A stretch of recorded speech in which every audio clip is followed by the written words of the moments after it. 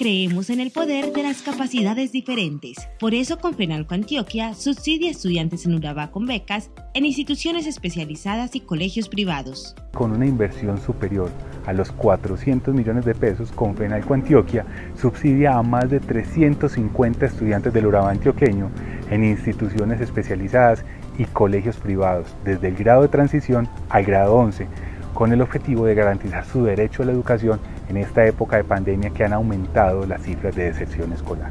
Apoyamos a muchas familias y niños que hoy siguen adaptándose a los retos de la educación a través de la alternancia.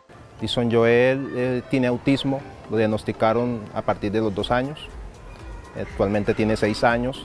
Mediante este programa eh, de Confenalco pues tuvimos la oportunidad de aprender en la pandemia y pues tener a nuestro niño mucho mejor en cuanto a su contacto con la sociedad. Hoy queremos agradecer el acompañamiento que ha tenido eh, la Caja de Compensación con nosotros, ya que mediante pandemia siempre hemos estado acompañados con profesionales, eh, educadoras especiales, psicólogos, que nos han hecho más llevadero este proceso. Contamos con un apoyo fundamental por parte de Confenalco, por parte de la familia, la cual ha sido muy entregada al proceso, siempre están dispuestos a apoyar absolutamente todo.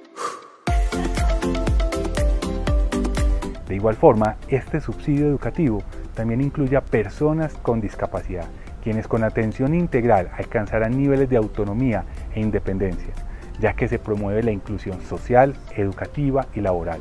Cada historia está llena de retos que son afrontados en familia con amor y perseverancia. A nosotros nos ha parecido muy muy bueno la beca que Confenalco nos ha otorgado para nuestro hijo. En todos los proyectos que ha participado ha salido muy bien con el apoyo de Confenalco y el apoyo de la Fundación Caricias de Sol. Sebastián ha aprendido a hacer eh, panes, ha aprendido a sumar, ha aprendido a, a leer, a escribir, y le agradecemos mucho a Confenalco y a la Fundación Caricias de Sol por todo el apoyo que nos han brindado.